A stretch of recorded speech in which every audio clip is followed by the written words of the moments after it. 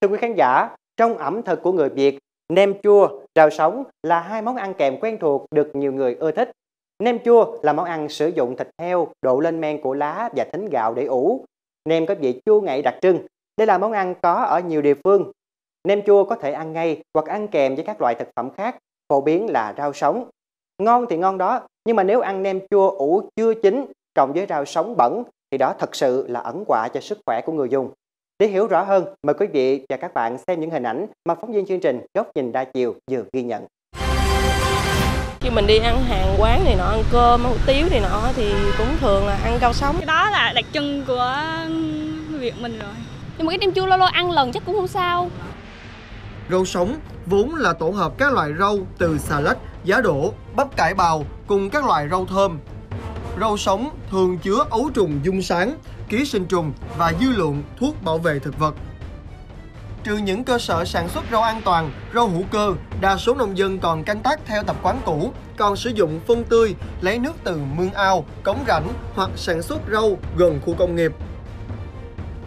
Còn các tiểu thương bán rau, họ cũng thường dùng nước bẩn phun xịt để rau tươi lâu. Trồng rau khi nhà máy, khi trời mưa họ hay xả xả mấy nước dơ ra nhiều khi nó chảy ảnh hưởng chảy vườn nhiều khi rau chết này ngay như nhà em ở đây là gần khu người Tân Thới Hiệp này em nghĩ cái nguồn nước nó không sạch rồi nó cũng bị ô nhiễm Ngoài ra, thói quen của đa số bà nội trợ là ngâm rau sống trong nước muối pha loãng hoặc thuốc tím, sau đó rửa qua nước vài lần. Tuy nhiên, cách làm này cũng chưa thực sự hiệu nghiệm đối với một số loại ký sinh trùng và đặc biệt là hóa chất bảo vệ thực vật còn tồn dư. Đối với những quán ăn bình dân vỉa hè, việc sơ chế rau sống còn đáng lo ngại hơn rau chỉ được người bán nhúng rửa sơ qua, sau đó đưa cho khách dùng. Dân, rau đã độc hại, bẩn từ khâu sản xuất cho tới đầu ra thì lại chỉ được các hàng quán nhúng rửa sơ qua. Những hình ảnh này dù không quá bất ngờ nhưng quả thật khiến chúng ta giật mình. Cuộc sống bận rộn, bản thân Nhật Minh và nhiều quý khán giả đang xem chương trình cũng ăn ở hàng quán thường xuyên.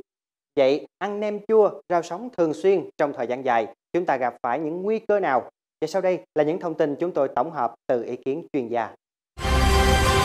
Rau sống cũng là tiềm năng của sự nhiễm của rất là nhiều vi khuẩn và đặc biệt là các ký sinh trùng. Thứ nhất là con sáng đầu gai là do ăn những cái à, hải sản, những cái thực phẩm sống. Thứ hai là con dung lương à, thì những cái con đó đó thì nó nó đi vào nó không phải chỉ là gây rối loạn tiêu hóa đơn thuần mà nó có thể đi đến những cái cơ quan khác trong cơ thể và gây ra nhiễm độc. Và đôi khi có những cái trường hợp á, mà có tổn thương thần kinh do ký sinh trùng thì đôi khi á, thì bệnh nhân ăn xong rồi à, qua một cái quá trình thì tự nhiên đau ở vùng gan. Đau ở vùng gan và đi khám thì được chẩn đoán là có một cái khối choáng chỗ ở gan. Và đôi những khối khối này á, thì là một cái áp xe rất là khó điều trị hoặc là đôi khi có thể nhầm lẫn với một cái ung thư.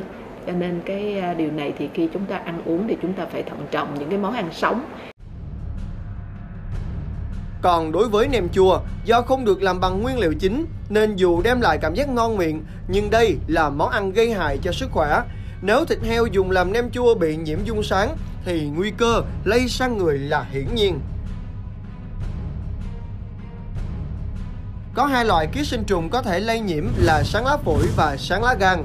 Trên thực tế, tỷ lệ những người bị nhiễm sáng do ăn phải thực phẩm không chế biến chính như nem chua là rất đáng ngại.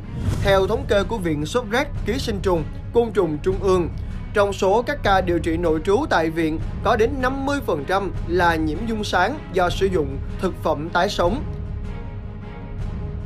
Ngoài ra, đối với món nem chua, hiện có nhiều loại nem không nhãn mát, không hạn sử dụng hoặc có hạn dùng nhưng không có ngày sản xuất.